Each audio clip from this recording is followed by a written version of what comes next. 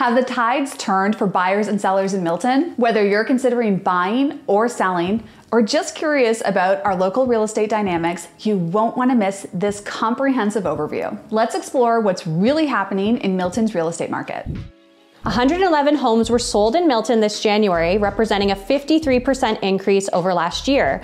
The average sale price was also up 4.3% over December. It took 53 days on average for a property to sell, and the average list to sale price was 99%, which is up over 97% we saw in December, meaning sellers are getting closer to their asking price. Why the sudden increased activity in January?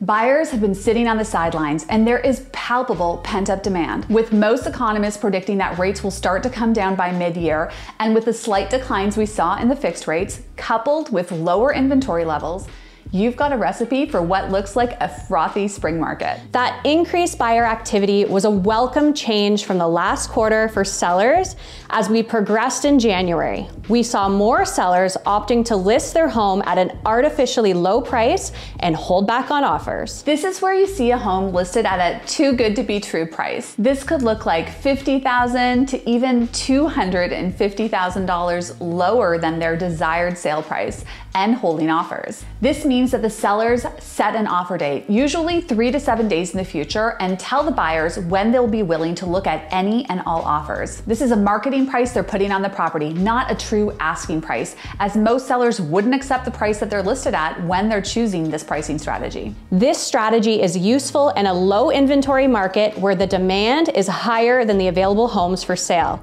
It is used to drive appointments and generate multiple offers. The risk is that on offer day, you may not receive offers in the price range that you're hoping for, or possibly no offers at all. Some sellers will then either accept an offer less than they'd hoped to receive or choose not to accept any of the offers and relist the property at a higher price. This list low and hold strategy has continued into February in Milton. And as a team, we've found our clients in multiple offer situations a number of times already this year. This fundamentally goes back to the underlying issue that remains lack of supply. We do not have enough homes available. We've seen government intervention into this issue many times. The federal government recently announced that they've extended the foreign buyer ban for an additional two years until January 1st, 2027. This move hopes to ensure that the available housing will be available as homes for Canadians to live in and not as a speculative financial asset class. Other changes we've seen come into play include the ability to hold open offers.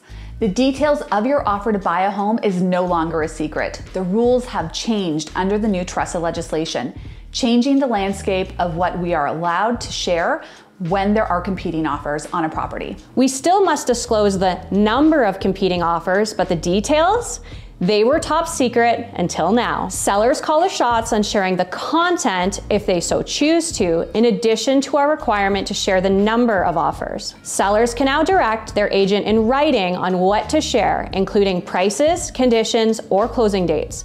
We have yet to see this in any of our multiple offers we've been a part of, but we have heard of other sellers opting to share. Additionally, how we can advertise our coming soon properties has changed. We can only advise the public of coming soon properties to the public three days before the property goes on the MLS. So many changes and all so quickly, such is the roller coaster of the real estate market. It may feel overwhelming to keep up with everything, and that's where we come in. We'd love to help you on your journey connect with us at the link below to schedule a one on one meeting with us.